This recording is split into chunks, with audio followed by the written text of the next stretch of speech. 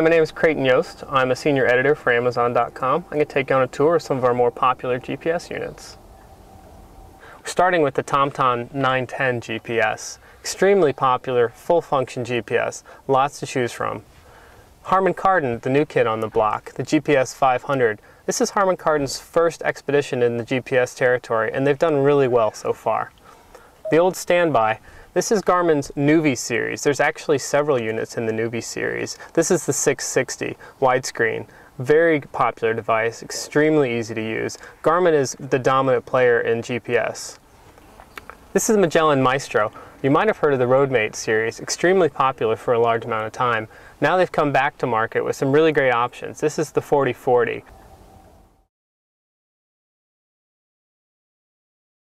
We're going to find a Starbucks. Shouldn't be too hard to do in Washington, especially in Seattle. We're just going to plug a local uh, destination in and ask for a Starbucks nearby to the location we're at and see what the discrepancies are between each unit as it navigates there.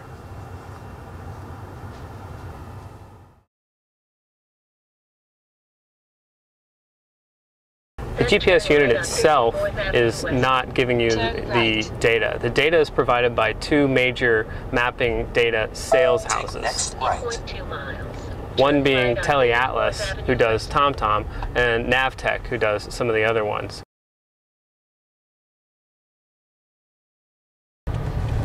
In the event that you aren't sure where you're going and you just sort of randomly drive around, the units will recalculate depending on what the best route is for you.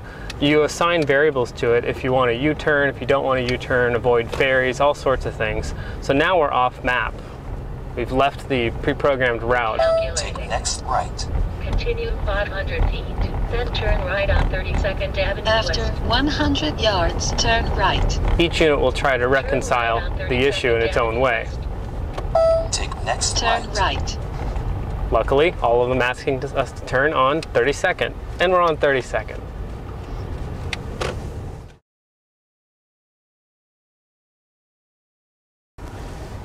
Arrive at your destination in 200 feet.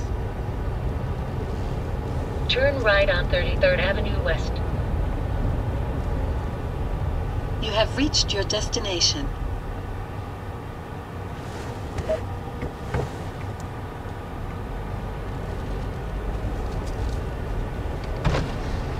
Arriving at Starbucks. You have arrived at your destination